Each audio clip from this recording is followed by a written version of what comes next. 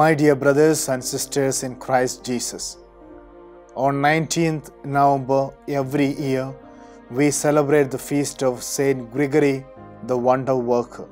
Gregory, whose name was Theodore during his childhood, was born in Pontus, Asia Minor, Turkey, as a pagan. At the age of 14, he went to Beirut to study the law with his brother Athenodorus. During his studies at Caesarea in Palestine, he fell under the influence of Origen's Alexandrian school of teachings and embraced Christianity. Abandoning the desire of studying law, he spent seven years to study theology and philosophy, and finally, at the age of 26, he became the bishop of Neo Caesarea. During the time of Emperor Decian's persecution, he went to solitude in Pontus.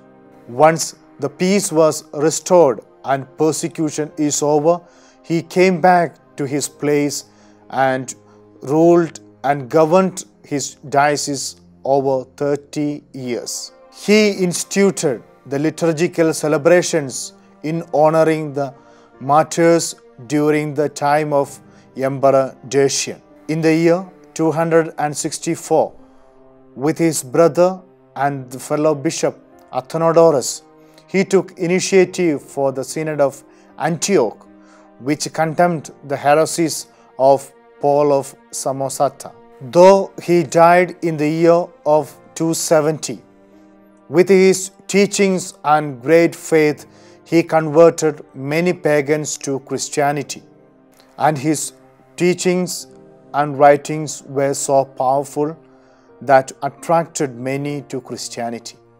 In his exposition of faith, Gregory stated the eternity, equality, and perfection of each persons of the Blessed Trinity. Saint Gregory of Nyssa, who wrote the life story of Saint Gregory, called him as wonder worker because of his numerous wonders God worked through him. In fact, this great saint is invoked during the desperate situations and against floods. As we celebrate the feast of Saint Gregory the Wonder Worker, we shall ask God's blessings upon us through this saint, so that we may always depend on God in our desperate situations and our troubles.